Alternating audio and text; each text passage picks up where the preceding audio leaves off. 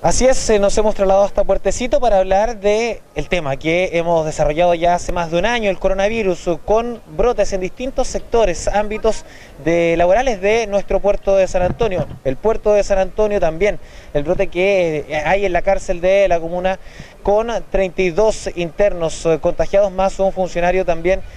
activo y además situaciones que se han ido generando. El rubro de la pesca también ha sufrido, también tiene casos de contagio y algunos lamentablemente de extrema gravedad. Es por eso que estamos con Miguel Ángel Hernández, presidente de la Corporación Puertecito, que nos va a contar también cómo han ido soslayando la pandemia y cómo están eh, en este momento tan complejo cuáles son las principales necesidades y qué es lo que se viene. Todo esto lo vamos a conversar con Miguel Ángel. Muchas gracias por recibirnos acá en este espectacular escenario como lo es esta bahía de San Antonio, hablar de este difícil momento que vive la pesca artesanal en San Antonio, con, lamentablemente con casos activos. Sí, complicado, no, no hemos visto los últimos días, eh, tenemos eh, compañeros graves en Valparaíso y eso nos ha llevado eh, estar en alerta aquí en nuestra caleta. sería lamentable que nos cerraran por un tema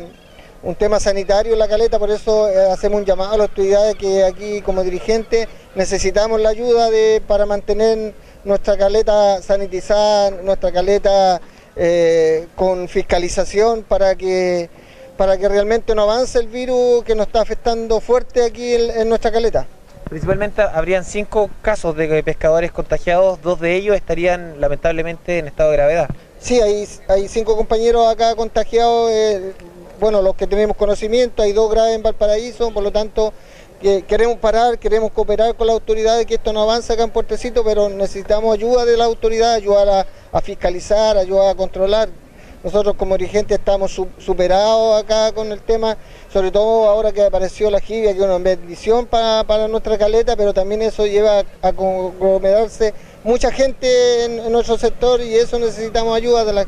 hay gente que no entiende que hay que usar mascarilla, hay gente que no entiende que hay que sanitizar y eso, eso tiene que ser con ayuda de la autoridad, sobre todo con la autoridad marítima. O sea, el llamado entonces a fiscalizar el, uso y el buen uso de la mascarilla y también a que exista un acompañamiento, saber eh, qué medidas desarrollar y cuándo desarrollarlas. Sí, nosotros necesitamos, necesitamos apoyo, necesitamos ayuda, por lo tanto es el llamado a las autoridades que, miren aquí la pesca artesanal, es un pueblo de desarrollo económico importante y de alimentación hacia nuestra población, por lo tanto deberían preocuparse un poco más y no dejarlo a la buena de Dios. Hay altos sacrificios dentro de la, pesca artesanal en, época de pandemia que no hemos parado, pero, pero esto se nos está yendo de las manos, así que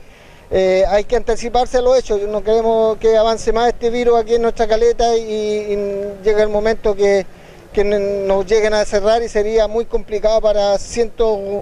de familias que dependen de la pesca artesanal. Miguel Ángel, ha sido un durísimo año en, general para el mundo, también para el mundo de la pesca pero aparece como una luz de esperanza la, la jibia en, el rubro y eso también da cuenta que hay, hay una, pequeña salida para, este duro momento. Sí, yo creo que es un buen salvataje la, la jibia, a pesar de que está muy complicada la comercialización por, por todo el tema de la pandemia, por todo el tema de la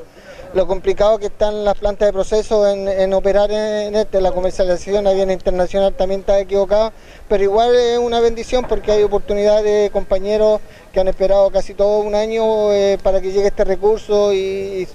fuimos bendecidos por la madre naturaleza de, que este recurso llegó a nuestras costas y están operando no al 100%, estamos operando al, al 60% la flota con muy mala comercialización, pero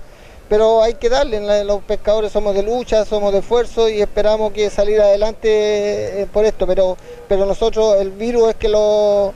que nos complica y queremos, queremos parar esta situación y que nos siga avanzando y tengamos que sufrir alguna desgracia o pérdida de algunos compañeros por esta por este virus que nos está atacando a todos. Bueno, ustedes también se la han ingeniado para hacer una serie de iniciativas. Una agrupación, por ejemplo, tiene la pesca popular. ¿Existe la posibilidad que se pueda emplear esto para más de un día y para beneficiar a otra agrupación? Sí, por supuesto. Acá hay en Puertecito hay cinco organizaciones de pescadores artesanales. Creo que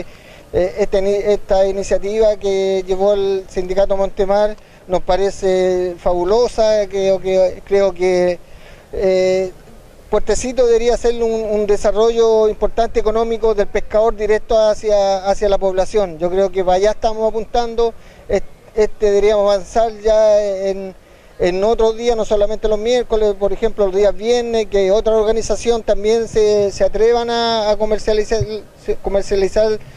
desde las embarcaciones de sus organizaciones, por lo tanto creo que es un, buen avance y una, y, una venta directa hacia la población, creo que esto abarata los costos, no eh, eliminamos la intermediación, que es el talón de Aquiles que tiene la pesca artesanal, que es la comercialización, que prácticamente nosotros eh, no vendemos pescado, sino que nos compran y es muy distinto, se coluden, hay muy bajo precio a nivel, a nivel país, por lo tanto estamos complicados en ese tema, pero es, una buena luz y una buena iniciativa que llevó el, sindicato que preside el compañero Cristian Miranda. Muchísimas gracias Miguel Ángel y vamos a estar atentos primero a los casos de contagio y también al, estadio, al estado de salud de principalmente estas dos personas que están de gravedad. No, gracias a ustedes por,